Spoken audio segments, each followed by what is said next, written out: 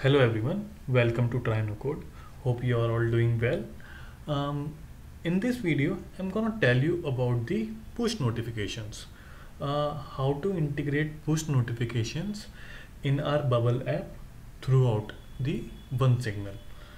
So uh, first of all, uh, OneSignal is a third-party platform uh, which is used for um, creating or focused on the push notifications, emails, SMS, etc. Um, with the help of API.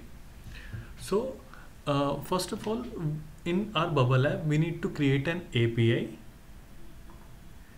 in the API connector create a one signal API this authorization bearer uh, and app ID you will get from the one signal so um, first of all the one signal in this this is the one signal platform. You need to create an account on the one signal. And after that um, you have to create an API key API key and app ID after the sign up you will get the app id and api key. And uh, after that you need to activate the um, add-ons like um, google notifications ios notification web notifications.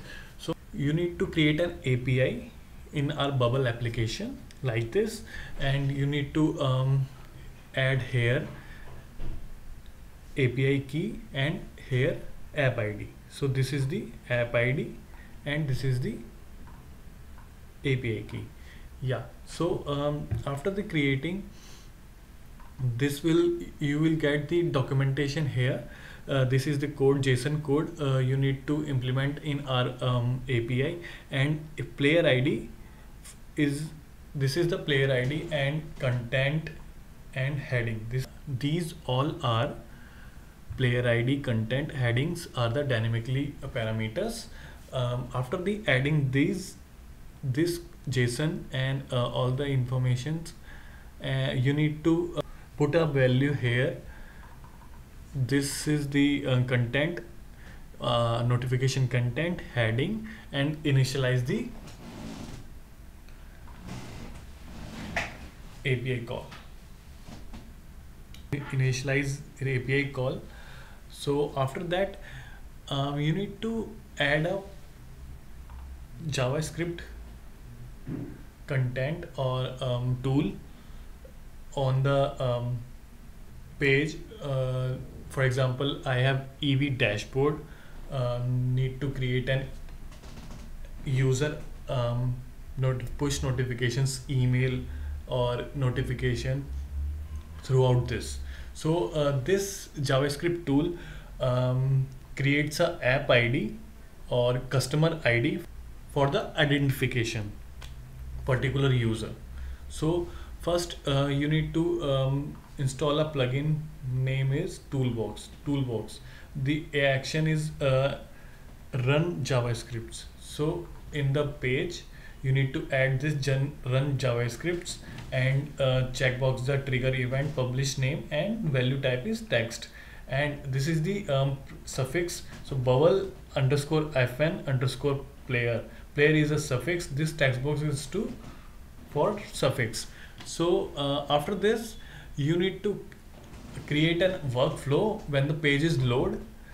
So the page is loaded uh, run javascript. You will get this code from the web2 native one signal collaboration and this bubble fn underscore player. So this is the suffix that we have added before. Synchronize checkbox is ticked and only when the current user one signal id is empty. Only when this is performed when the current current user one signal id is empty.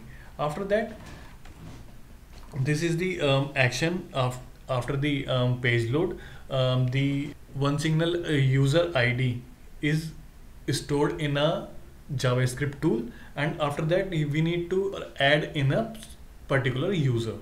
So after this um, you need to perform this action uh, add the make changes to a current user. This javascript bubble key value. So this is the setup for push notification. And the final stage is uh, when you when the notification is generated throughout the platform. For example uh, I have created event. I have created an event. So the notification has been generated throughout the users in our platform. So first what you have to do?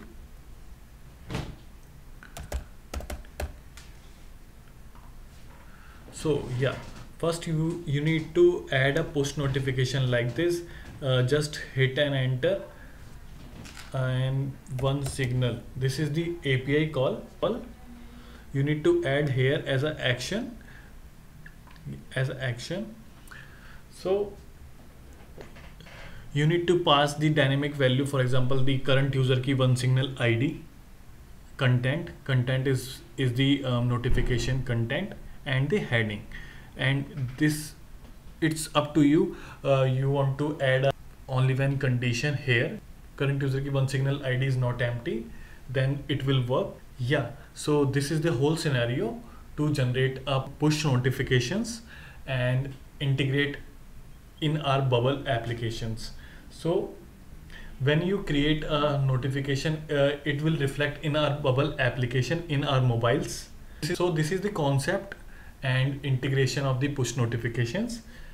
Uh, hope you are all enjoyed this video and you can raise query in comment section. And yes don't forget like subscribe. Thank you. I'll see you in the next one